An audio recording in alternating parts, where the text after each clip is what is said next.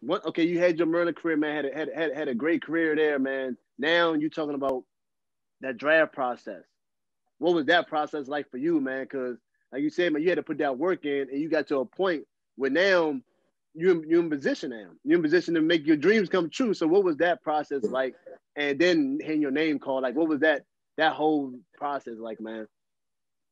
Uh, it was it was all surreal, man. Like straight up, it was it was a surreal experience. I was uh, this what I had been working for the my my whole career at Maryland, you know, and after my soft, I mean middle of my sophomore year, I tear my ACL. I come back my junior year, don't really have a great season because I'm playing the one, and you know I'm just not 100% coming off of ACL that first year.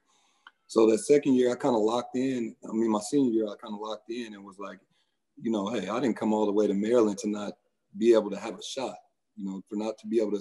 First of all, our first thing was to to get back to the tournament, and we did that. We had a good season. We got back to the tournament, and then was to have a shot at the draft.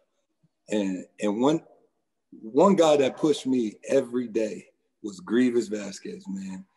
I tell you, we used to get in in fist fights, playing one on one.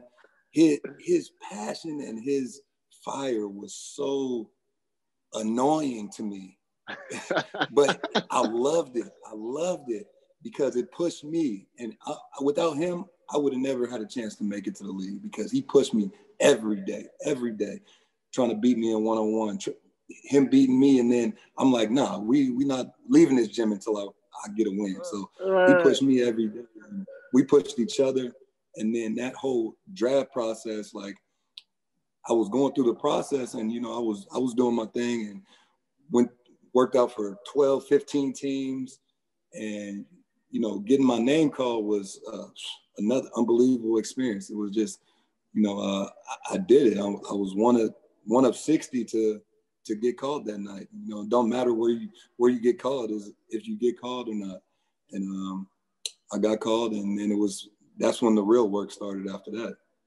Right, exactly, man. Like you said, man, it, it don't it don't matter what, what, number you get called at, man, because you see a lot of examples like, like Gilbert Arenas going the second round, yeah. didn't have a, the, the career he yeah. had. You know what I mean? And then even with you, man, like you played in the league for a number of years. You know, you had that experience. So what was that like? Now you go from the high school experience at, at Mater Dei, then you go to Maryland. Mm-hmm. So you had that, that was a transition, but now you got another transition to the league, something that you always wanted to get to. Now you're there. So what was that process like, man? How was that experience?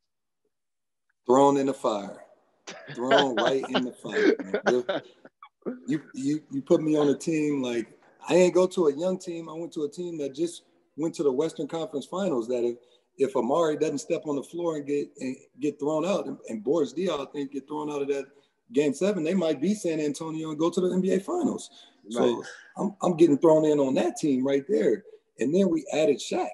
So it's like, it, it's like, okay, now, now I'm at a, at a whole different level. Like now I'm with superstars.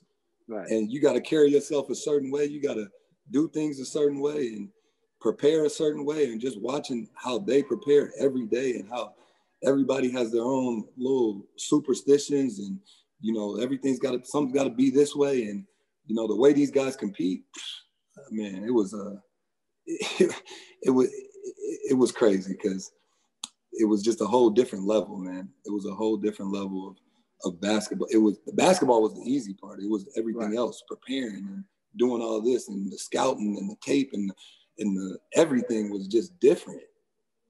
Man, that, that's crazy. I know I know you I know you played with uh you played against played against Kobe. You know, because I saw somebody uh-huh. post something not too long ago. You played against Kobe. What was that experience like, man? The, late great Kobe, rest in peace. How, what was what was that experience? What was that experience like, man?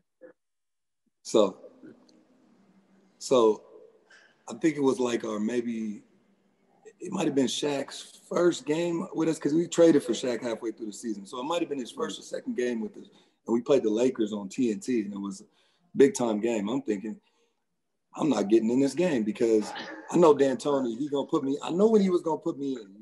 You know, I was gonna play against Minnesota and teams right. like that. If we play right, the Lakers, right. you're not getting in. right, so right, right. I'm just chilling, watching. I'm watching the show. Kobe is killing. He's going crazy.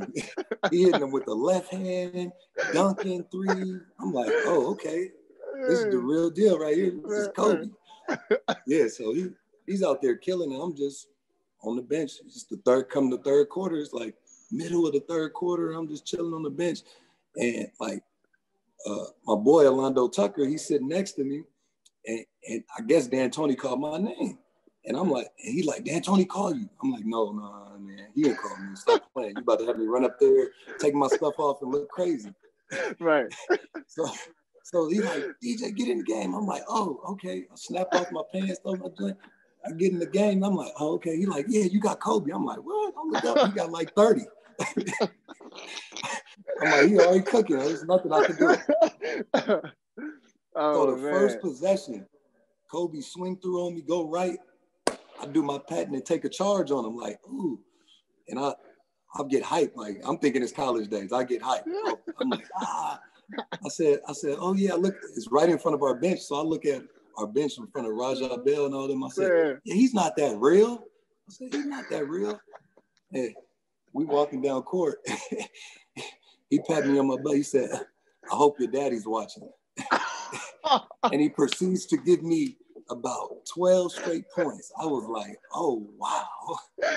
Hey, he gave me bucket after bucket after bucket. And I was like, oh man. I was like, yeah, that, that's my that's my welcome to the league moment right there.